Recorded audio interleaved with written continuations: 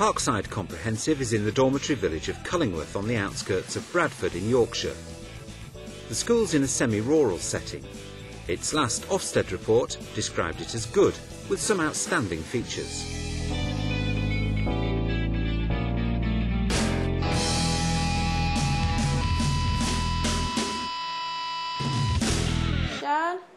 Simeon, Claire Hewitt is a newly qualified foreign languages teacher. This programme follows Claire as she gets to grips with classroom management. that means everybody stop and look this way, please. Claire's no stranger to the occasional bit of challenging behaviour. She used to work for an airline. I've dealt with lots of difficult situations. Obviously, working as cabin crew for an airline, you're in an extremely s- difficult situation because you're 30,000 feet up in the air, you've got nowhere to go. If anyone starts causing you problems, you've got to deal with it. It's like being in a classroom. Um, you've got to deal with the situation yourself. Um, you can't really get someone to help you when you're in the air. So I'm hoping to be able to deal with a lot of the difficult situations myself, hopefully.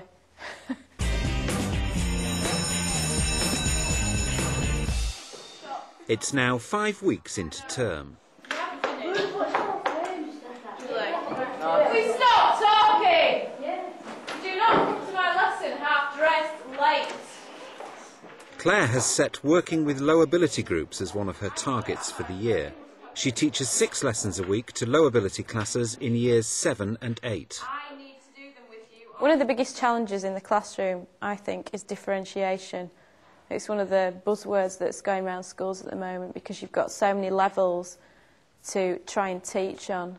You've got a range of abilities in a classroom and you've got to try and cater to everybody that's in there. Bethan, stop talking. I'm the teacher. What? Yes, if you want to talk, you ask me. Don't just talk in the middle of my lesson. Nous allons apprendre comment vous arrivez au collège. I know they're learning something because they come back the next lesson and they'll know it. So I think you've just got to get used to their learning style is they have to swing on the chairs, they have to collapse on the desks, they have to be noisy.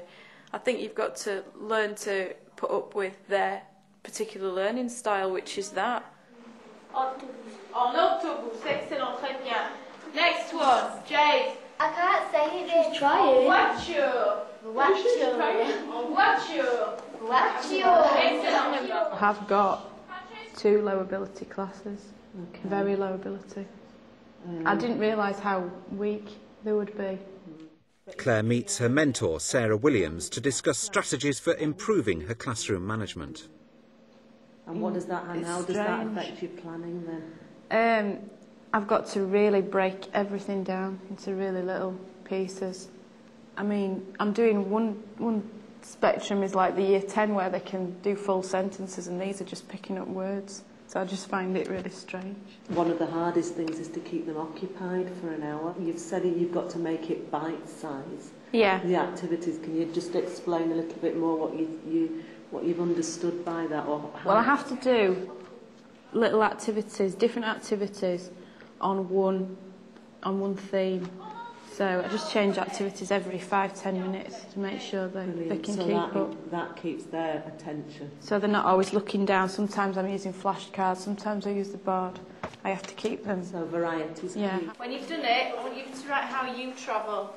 By the time it gets to um, week five, six and seven of your term, then people are starting to become weary. There are staff off timetable and so you might have to go and cover lessons and your timetable's becoming more and more complicated. So Claire's doing exceptionally well. She's still bubbly, she's still organised, uh, she's still asking questions all the time, but clearly she's tired. I had two problems. I had to break up two fights. One of them was um, a boy pushing a girl down the hill. I told him to stop, and he told me in no uncertain terms to f off, which thought was very nice of him. It really did upset me. I've never, I don't know, I couldn't get over it. I've never sort of had anyone like that speak to me like that. I don't think even any other adults have ever spoken to me like that. I just think it's downright rude.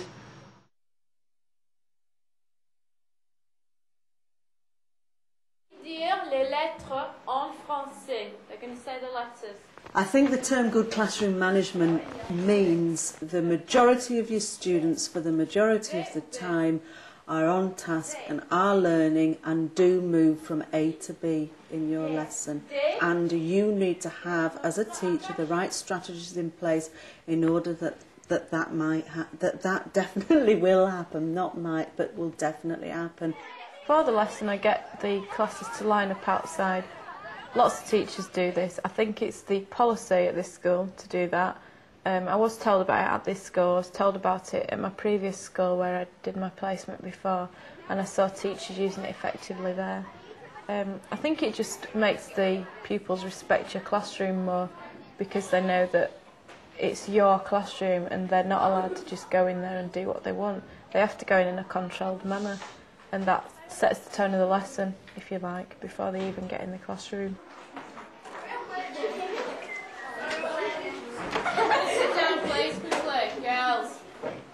They all know when they come into the classroom that they should sit down, they should get the books out and the planners out and be ready to work as soon as they get in there. Jade, why have you got your bag with you? Your coat. You don't bring coats into my classroom. Go back, please. I do check the uniforms, it's a big problem with some of them in the school. Um, they like to walk around with the shirts out and things. But there is a uniform dress code and they know what it is and they do try it on sometimes. So when they come in my classroom, I make sure they're properly dressed and they know what I expect of them. I expect them to be properly dressed, properly equipped and ready to start learning. Tuck your shirt in.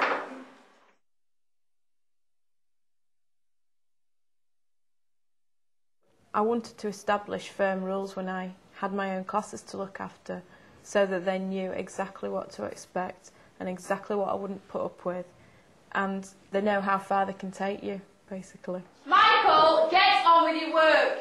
What is Have a look. The law. Right, have you done this? No. Yeah, but I, did, I thought they were still This class will stay in for 10 minutes unless the person who is whistling stops. Miss, I whistled first. Excuse me?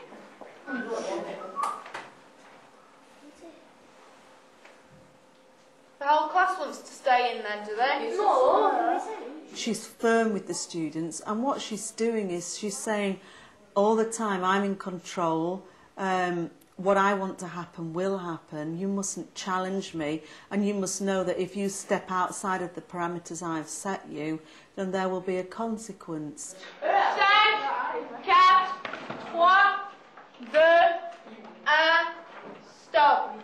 I start a countdown so they know that by the time I get to stop, that is it. So they've got five seconds to stop talking and listen, and they know that they've got to concentrate. After that, I've got a clock on my board which is there permanently, not just for learning telling the time, but because I add minutes onto it. So every minute of mine that they waste, I will take a minute off them, off their break or their dinner, whatever. So that seems to be working at the moment. The detention does not start until everyone is silent.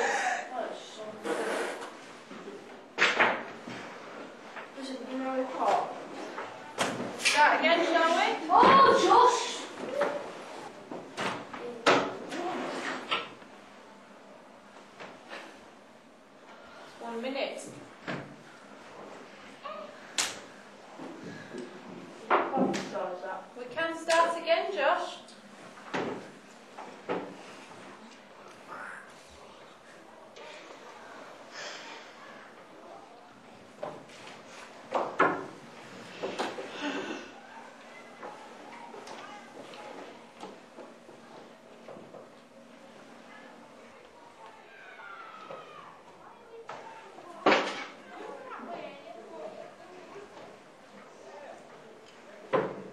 It's working really well, apart from I think that now I've got to be more specific on who is staying back. Stand up in silence, put chairs under, don't go anywhere.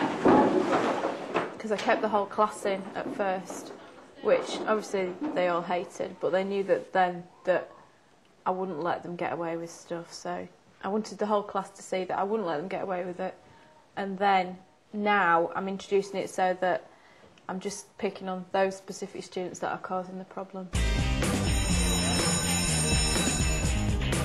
It's Wednesday. I can't remember what day of the week it is. It's Wednesday, I think. I'm in week six, I think. Can't remember. Anyway, I know that the week after next it's half term, so that's all I'm thinking about at the moment. I'm um, I'm just finishing off for tonight. It's ten to nine, and I'm absolutely shattered. I don't think I can do any more. My brain's aching.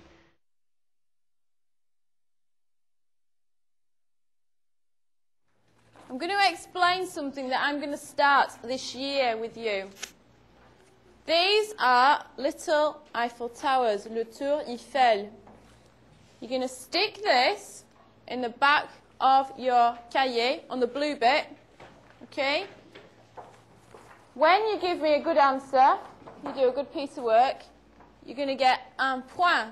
If I shout out to you un point, turn to the back of your book and you colour in one of the squares. Though some of them have a bit of trouble remembering what they're supposed to do when they get in there. So if I see one table or one student that's done exactly what I've asked, I'll say un point, I give points out to them. On the red one. Excellent, règle, fantastique, un point. Qu'est-ce que c'est And so everyone else will think, oh, I'm going to get a point for getting my stuff out. So little rewards so they can see what good behaviour is and what I expect of them. And then they're all like competing to get points to fill up their Eiffel Towers.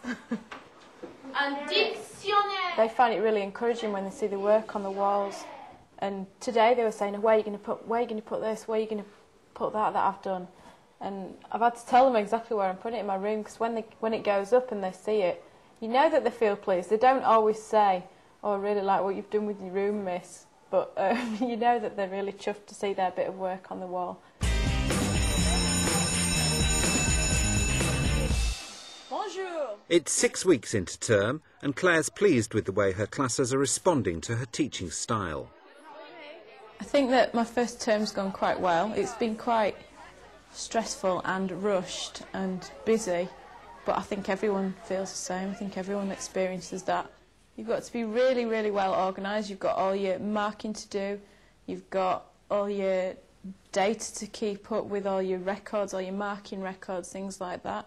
You've got your classroom management to sort out. You've got everything, your planning, your resources. Um, there's just so much to do outside of actually teaching. I think fundamental to good classroom management is good planning. I think that's the nucleus. I think you need to know where you're going and what you want to achieve in your lesson, and you need um, to share that with your students. And I think you need to be able to also be flexible and be aware that you will definitely encounter problems I'm looking forward immensely to my half term. I think I've worked extremely hard on the lead up to it, so um, I think we all deserve it now. We're all waiting for it.